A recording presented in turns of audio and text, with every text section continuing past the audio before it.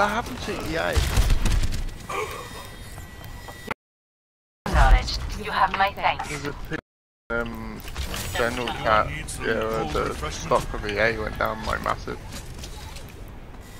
Yeah, but me. I saw just video that went down. Like, graphic card companies.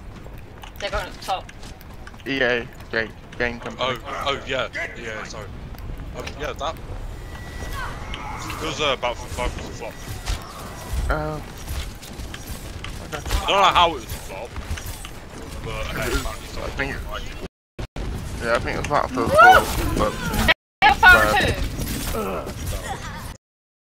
Fucking Lloyd, you could have said Mei was next. Yeah, she's on me. Mei was next to me. I will be your shield. Just so you know. I'm just... Do anything.